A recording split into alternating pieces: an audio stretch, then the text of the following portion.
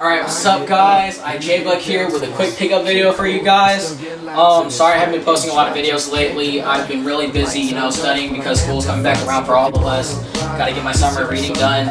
But I'm back regardless, and hopefully I'll be able to post up more videos for you guys. So, let's get started. Um, you guys have seen my shoe collection, and you guys all know that the only Vans that I own are black.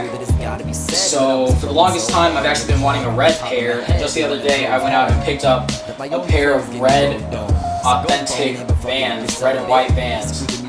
So yeah, these are really comfy shoes. I actually haven't worn them yet. The only time that I've worn them is in the store, but I mean, walking around in them, they are really comfy. So yeah, picked up these. Really like them for $45 at the Van store mall. Um, Alright, uh, you guys have seen my first Herschel bag that I ever bought in my first video. And just the other day, I went to Urban Outfitters expecting to buy a hat, but I ended up coming out with a Herschel bag that was on sale for $30. So yeah, Herschel bag, $30. I really like it. Has these two things right here. Honestly, I don't even know what they're called. But yeah, I like those. Um, the bottom is like a regular backpack material, and the top is like a waterproof material with a, actually a really thick square patch right here and leather straps on the zippers. Alright, the inside, ripstop patch right here, ripstop bag. Um, laptop holder, uh, phone case, or phone holder, not phone case, sorry. Um, yeah, but yeah, like the other one, pretty deep backpack, front pocket, um, inside I actually have all my tags and stuff. Inside is the same stripe pattern as the other bag, and it has the little key holder on the inside right here.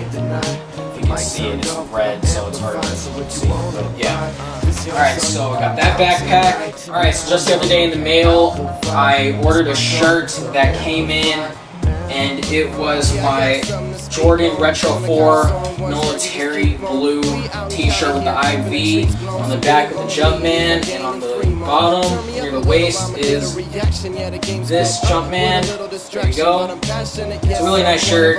For those of you who own militaries, you know, it's really hard to match with them, so whenever you get an opportunity to get something that matches with it, I suggest you get it. Alright, so big shout out to the guys at Japangeles.com for hooking me up with this How to Use Chopsticks t-shirt. It's a really creative design. I really like the quality of the t-shirt. You know, it's like, it's thick. It's not that like cheap kind of t-shirt that you could get from somebody else. These are actually really nice shirts. For those of you who like this design, I suggest that you go and check out their website. I really encourage you to. Really creative designs. Um, so yeah, it's got like Mickey Mouse hands holding chopsticks and the crane, the paper crane. Says Japangeles on the bottom with Disney letters, and on the back has their I Heart LA um, like logo with Japangeles on the bottom. Yeah, so they sent me this t-shirt.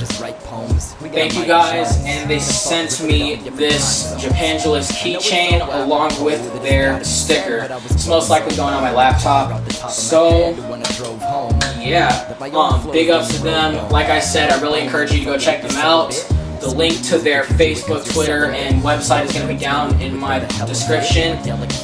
Uh, yeah, so that was the pickup. So, like always, like and subscribe, share my videos. Peace.